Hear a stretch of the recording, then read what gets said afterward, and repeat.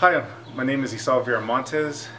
I'm a 285 pound former uh, Division One football player. I'm here uh, to attempt to break the strike plate lock. My background is in martial arts. I'm a certified Krav Maga instructor in military and civilian, former jiu-jitsu coach, and also judo coach, and a wrestling coach. So let's see what we can do today. This is a door chain purchased from a big box hardware store.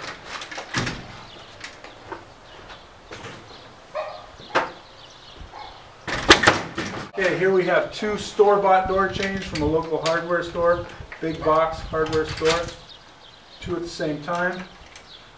Let's see what happens. Okay, one's a little tighter than the other. Wow, okay, that was two door chains. Here we have a standard metal sheath door from a big box hardware store. $40 deadbolt and door set.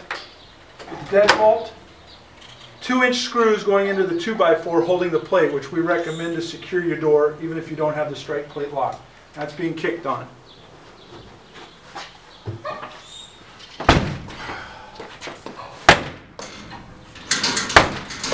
It's going. Go on.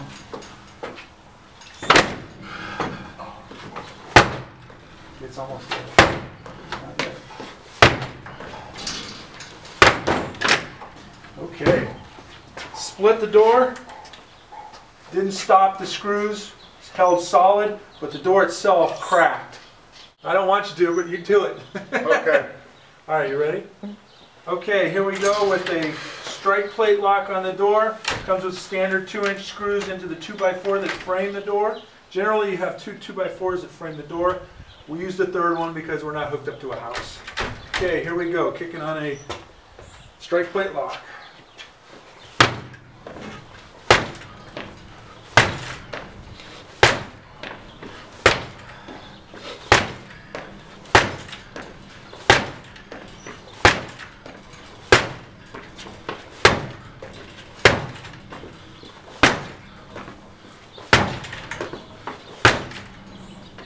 Can you, can you stop for one second? Yeah. Okay, we're still kicking on that. Well, he's not kicking now, but as you can see, there's nothing holding the door. 15 kicks. 15 kicks? Yeah.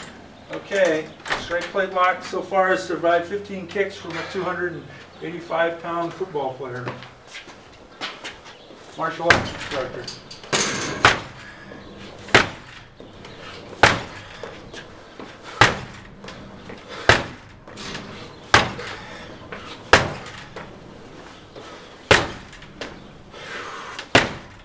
Here, take a rest. We'll, uh, door opens. Give him a chance to rest. This would give you time to call 911 and say, hey, somebody's kicking on my front door. You can go a few more. 23 kicks. 23.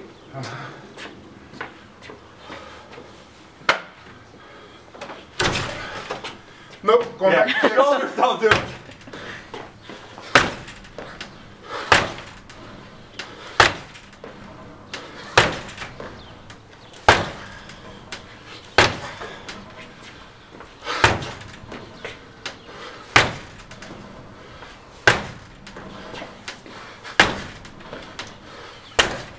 Okay, you're okay. 285 pound man, played football, martial arts instructor. He bent the door, but he did not get past the strike plate lock.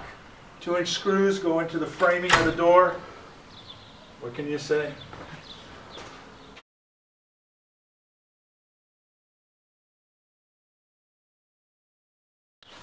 Okay, here after, how many kicks? 39. 39 kicks, the door is bent, giving him a little more access, but he still can't get the ring off. And that's with the ring at full length. With a levered door handle, you literally have to close the door to get the ring off. My arms prevented me from opening it. Okay, go ahead, take it out. Now, what you can do is you can also take the chain, twist it twice, and then open it. Try sticking your hand in now.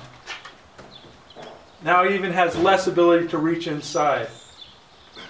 You, Now try, try, give it a couple of kicks with the twisted chain. All right, You're still filming? Mm-hmm. go.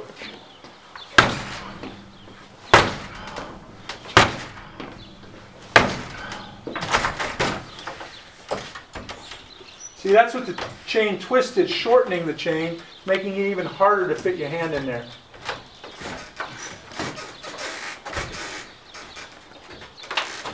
Like I said, with a lever door knob, you have to close the door to take the chain off. Okay, good. About 39 kicks, I stopped.